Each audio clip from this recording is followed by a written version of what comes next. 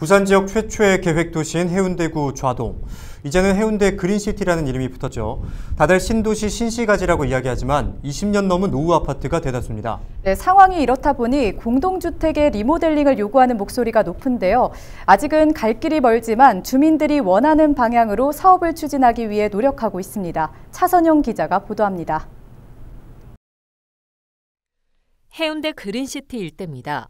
1996년 첫 입주를 시작해 지어진 지 20년이 넘은 노후 아파트가 전체 주택의 92%에 달합니다. 부산 지역 최초의 계획 도시지만 공동주택 노후화는 가속화되고 있습니다.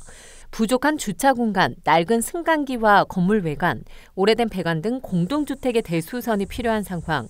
그러다 보니 최근 들어 리모델링에 대한 요구가 잇따르고 있습니다. 공동주택 리모델링 사업은 준공 15년 이상 단지에서 안전진단 B 혹은 C 등급을 받으면 추진할 수 있습니다. 용적률에 제한이 없고 기반 시설을 기부 체납하지 않아도 되며 정비 구역으로 지정할 필요도 없어 재개발 재건축보다 사업 추진이 수월합니다. 하지만 주택 소유자의 절대적인 동의가 필요하고 변화될 가능성이 큰 리모델링 관련 법률을 꼼꼼히 살펴봐야 하다 보니 아직까지 주민들의 의견도 나뉘고 있습니다. 이걸 시작하게 되면요. 1, 2년 만에 끝나는 게 아니다는 건 다 알고 있거든요. 어, 이주도 해야 되고 비용도 들고 그렇게 지금 어떻게 해야 된다는 것보다도 그 걱정이 지금 앞서가 있어요. 주민협의체 차원의 설명회가 열린 것도 이 때문입니다. 주민들이 원하신다고 해서 이게 바로 이루어지는 건 아니니까 거기에 대한 문제점을 좀 더 심도 있게 주민들과 함께 토의하기 위해서 오늘 이 자리를 마련했습니다.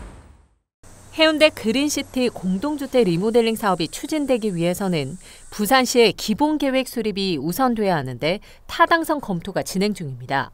지역 주민들의 높은 관심에도 사업이 본격화되기까지 아직은 갈 길이 멀다는 이야기입니다. 풀어야 할 숙제가 산재한 상황이지만 전문가들은 공동주택 리모델링 사업이 추진된다면 지역 부동산 시장에 긍정적인 영향을 미칠 것이라고 분석했습니다. 기존 택지 개발을 통한 신축 아파트가 구형 아파트가 돼 가는 과정 속에서 재건축 재개발이 매우 활성화된 이후 정체 국면에 놓였던 주택 산업이 리모델링이라고 하는 신산업을 통해서 활성화되게 된다라고 하면은 지역 경제뿐만이 아니라 지역 부동산 시장에 매우 활기를 띄워놓는 그런 계기로 작용을 할 것으로 판단이 되고 있고 현재 서울을 비롯해 수도권 중심으로 추진되고 있는 리모델링 사업이 지역에서 어떤 모습으로 실현될지 이목이 집중되고 있습니다. 헬로티비 뉴스 차선영입니다.